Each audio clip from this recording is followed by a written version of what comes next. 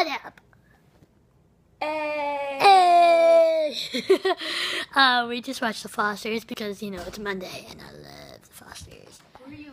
Who is that? It's it's just, you know, the Oh, hi. Oh, the blonde.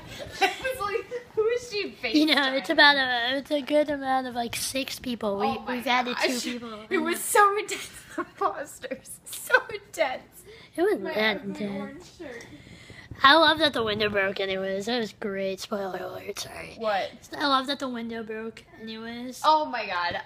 Oh, that means just why it's just. a I love how dumbass. Callie had absolutely nothing to worry about. Like the cops didn't come, nothing bad happened. She could have fucking chilled out and had some fun. Sorry for just saying the F word, but I'm just saying. Hey, does that remind you of any anybody, honey? What are you talking about? Does that remind you of anybody? Um. Okay. You know what?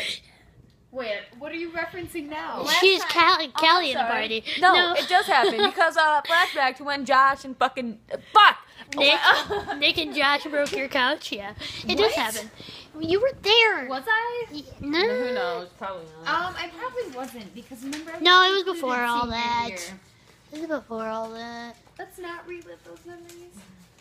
But Right, Ray? I don't know. you must have been in like somewhere. I But mean, we're all okay now. But Yeah. I know what you mean. It did suck. That pain will never go away. Like, well, I this am got deep. I'm gonna go. But thank you for still be a watching. I'll see you tomorrow.